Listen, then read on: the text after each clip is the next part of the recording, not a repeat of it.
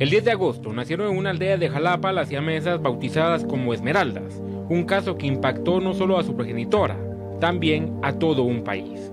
Un día después de su nacimiento, fueron trasladadas a la ciudad capital para ser examinadas por médicos del Hospital Roosevelt debido al complicado cuadro clínico que presentaban. Durante varias semanas, médicos estudiaron el caso en busca de una posibilidad de separarlas sin complicaciones, ya que ambas estaban unidas por el hígado. El 23 de octubre, la noticia de su separación fue divulgada ante la opinión pública y las siamesas fueron intervenidas quirúrgicamente durante 15 horas continuas, en las que 65 médicos trabajaron detalladamente para separarlas. Actualmente una de las esmeraldas se encuentra en cuidados intensivos debido a que no ha logrado asimilar la operación. Una, gracias a Dios, ya está estable, va, la que está más malita de la otra. Ella todavía sigue en el intensivo. ¿Cómo les puso el nombre eh, una se llama mm, Graciela Esmeralda y la otra se llama Esmeralda Angeli. Ya cuatro meses de permanecer en el hospital las hermanas Esmeraldas y en ningún momento su madre se ha separado de ellas. Sin embargo, ha sido difícil, ya que es de escasos recursos. No tiene familia que la ayude, ni un esposo que la respalde económicamente. Soy madre soltera. ¿Tiene más hijos además de las Esmeraldas? Eh, uno de 22 años. 22 años. Sí, uno de 22 años. ¿Y el padre de las niñas? Él, yo lo conocí allá en mi pueblo, va, pero cuando yo le dije que yo estaba embarazada de las nenas, él se fue de ahí de mi pueblo. ¿Jamás lo volvió No lo he visto.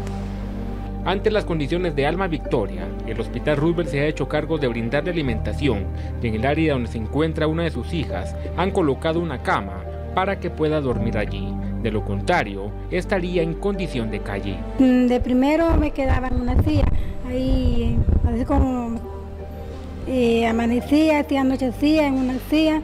Entonces llegó el doctor Bolaño y me dijo, él va, que ¿dónde me quedaba? Entonces yo le dije que ahí. ¿Y en qué te quedas? Me dijo él en una silla, le dije yo. Entonces dijeron que iban a ver cómo me conseguían una cama y me llevaron una cama para que yo pudiera descansar más. ¿Es muy duro estar en ese Sí, para mí es duro.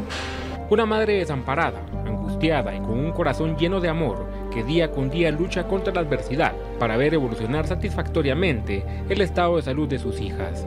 En T13 Noticias hemos dado seguimiento a esta historia desde el día que supimos de la existencia de las siamesas. Ahora nos abocamos a usted como televidente para que juntos ayudemos a construir el futuro de ellas. ¿Cómo puede hacerlo? ayudando económicamente a la madre de las Esmeraldas o bien haciéndole llegar ropa para sus hijas. Puede comunicarse al teléfono 4670-2381, preguntar por Ana Silvia y hacerle llegar lo que su corazón nazca. Como yo le digo a las personas, va que Dios que les toca el corazón de ellas, va que, quieren ayudarme sin dinero o ropa para las nenas, no sé yo.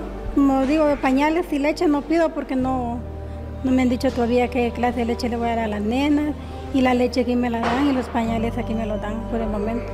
Lo más difícil va a ser para mí el día que yo salga de aquí para poder viajar para las citas de la nena. ¿Qué parte de Jalapa es? San Luis Tepeque.